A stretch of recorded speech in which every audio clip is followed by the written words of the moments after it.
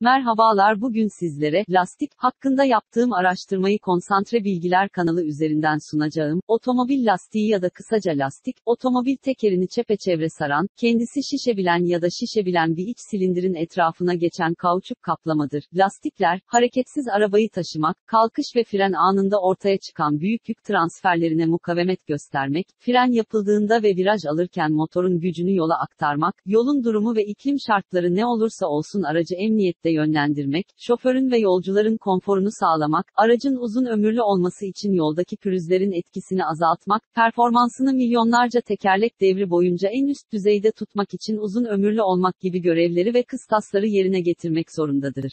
Otomobil lastiklerinin ilk adımı Chevy Dunlop'un, oğlunun üç tekerli bisikleti için tasarladığı lastik modeli ile başlamıştır. Üzeri lastik solüsyonu ile kaplanmış çadır bezini tekerleklerin üzerine çivi ile çakarak içine hava doldurması ile ilk adımı Dunlop atmıştır. Günümüzde otomobillerde kullanılan gerçek manadaki lastikler 1900 yıllarının başlarında geliştirilmiştir. Kauçuğun lastik sektöründeki kullanımı Goodyear'ın kauçuğu kükürt ile pişirip şekillendirmesi ile başlamıştır. Daha sonra Dunlop'un lastik topu topuklarına çelik teller yerleştirmesi ve iç lastiği icat etmesi ile bir gelişim süreci başlamıştır. 1940'lı yılların başında ise lastiklerin taban genişliğini, yanak yüksekliğini ve çapını belirten ebat sistemi getirilerek günümüzdeki manada lastikler üretilmeye ve kullanılmaya başlanmıştır.